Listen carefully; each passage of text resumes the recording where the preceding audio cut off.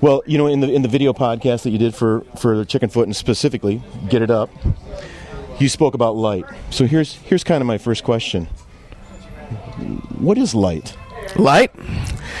Uh, light allows you to see Oh. beyond what is just in your head. Light gives you vision. This is my honest opinion, Yeah. straight off the top of my head. I haven't ever thought about this, but it's like in your head, it's like dark, and you see kind of what you feel, and you you have a vision of it. But hmm. when the light comes on, and you see for miles, or you see farther into.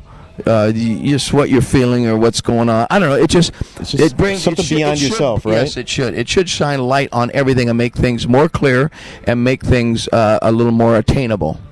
A bigger vision, bigger picture, reach out farther into the light. I'm afraid of the dark. well, there's that. I hear you.